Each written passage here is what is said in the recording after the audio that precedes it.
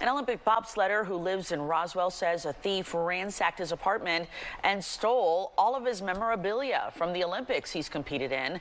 Part of that break-in got caught on camera. Fox 5's Alex Whitler spoke to that Olympian today and joins us with the latest for the search uh, for this burglar, Alex. And Christine, there is crystal clear surveillance video showing a thief's face right before they cleaned out that apartment. Chris Kinney competed in the 2018 South Korean Winter Olympics. He says thieves snatched everything from that competition, medals, pins, even samurai swords from his grandmother.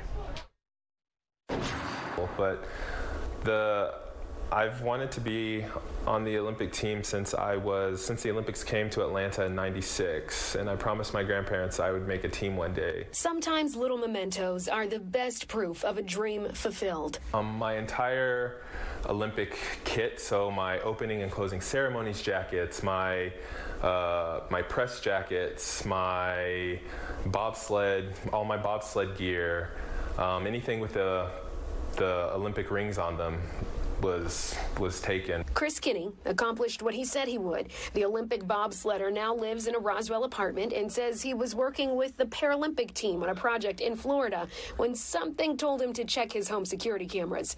Normally, the notifications show his rambunctious dogs, but not Tuesday. I see when it like gets uh, the camera just shuts off and then I see the video of the, the guy. Crystal clear surveillance video shows this man walk right into the camera's lens and turn it off. I went into panic mode. Kinney left Florida immediately to return to Roswell and find someone made off with everything he's worked for. I had some samurai swords that are older than me. Mm-hmm. Um, those were stolen my camera, my TV, my game console, my I don't I, I, haven't even been able to do an inventory of what was taken in my my bedroom or uh, in my like guest room yet. Even his car keys were gone, so Kinney says he had the car itself towed to ensure thieves wouldn't come back for more. He filed a report with Roswell police who say they're following suspect leads, but now it's a waiting game, one that doesn't guarantee a win. Just the memories that come along with all of my